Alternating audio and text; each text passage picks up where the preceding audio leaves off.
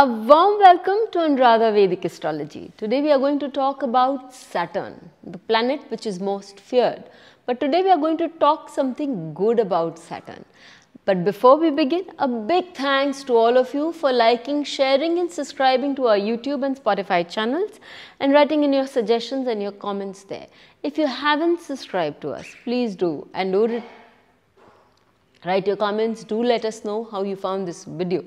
Not only that, please do press the bell icon so that you can get the updates ASAP.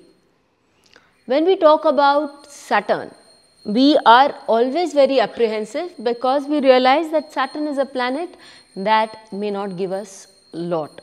But as I found out that Saturn is a planet which has the capability of giving us lots. All it expects from us is that we be very regular and be hardworking.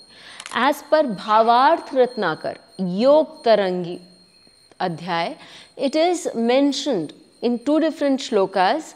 The first slok goes is that if Saturn aspects the third house or the ninth house, then Saturn gives very good results. In there's uh, the same book, Bhavarth Ratnakar, there is another shlok which goes by the dictum that if Saturn is sitting in the third house and the ninth house, Saturn gives exceptionally good results. It forms a yoga. Now, when we talk about the third house, what happens is when Saturn is placed in the Lagna, it will aspect your third house also. And as such, it will give you great results. How does, why does it give you great results? When Saturn is placed in the third house, in the Lagna, it is also aspecting your 10th house and your third house. It gives you an ability to work really hard and be very strong in your in your work. It gives you an ability to be very direct in your work and live up to whatever you promise. I have charts, I've seen charts that when Saturn is placed in the Lagna, then these people, whatever they say, they deliver. They live up to their work, their word. And if they don't, then they should or they have to, to make sure that the Saturn is running good. Also remember that when Saturn, when we talk about doing something, creating something, which the third house is all about, then just creating it and leaving it will not make much of a difference at all. What you need to do is have a sustained effort in that area of work. And when you work on that part for a long period of time with patience and persistence, which again are the karaka of Saturn, then you will see results, you will see changes in life. And how does that connect with the third house? The third house is the house where you can bring in change with things that you do. Third house is typically the house of change. And I have said that many a times and have made videos on it also.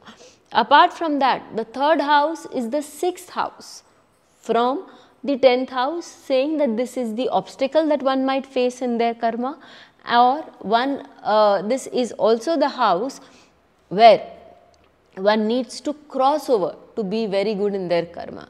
So, with persistent effort of that Saturn that is working on that third house, one will be able to cross over the obstacles, go over the obstacles and then emerge victorious and then your path of career would be very smooth. So, these people can have a long fight because Saturn moves shene shene or slowly slowly. So, these people may have a long haul of traveling or fighting out certain things in life, but once a part of their karma is unlocked, then it is a high rise for them. So, that Saturn when either sitting in the third house or aspecting the third house, it gives us patience and perseverance to be persistently working in a particular direction to be able to overcome the karma and to reach a high place in life. Also, these people will deliver as I said as they speak. Now, when we look into the ninth, the second dictum or the second half of the two dictums, that is when Saturn aspects the ninth house or is placed in the ninth house, it forms a yoga. Now when Saturn is aspecting the ninth house from the seventh house, in the seventh house it is Digbali as is the case in the uh, chart of Lord Krishna. You will see that in the case of Lord Krishna, we see that Saturn is placed in the 7th house and it is in the sign of Scorpio. I got this chart from a very elderly astrologer who is known for his accuracies.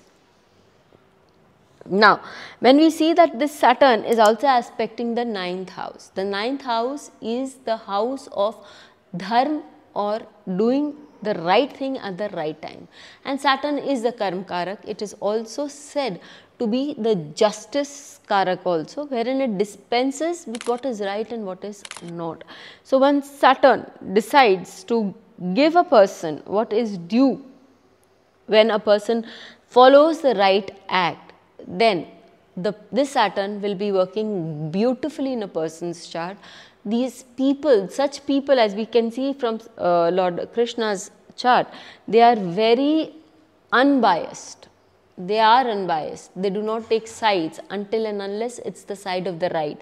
And they will always speak the right, take up the side of the right. The very famous shloka of Gita, Yada Yada Hi Dharmasya, ग्लानिर्भवति Bharat अभ्युत्थानाम अधर्मस्य तदात्मानां सृजाम्यहम परित्राणाय साधूनाम विनाशाय च दुष्कृताम that is time and time again I come to save people and to set things right to be to set things every when there is a lot of adharm or not things not going the right way setting in then i'll take birth and i will make sure that things are set right again.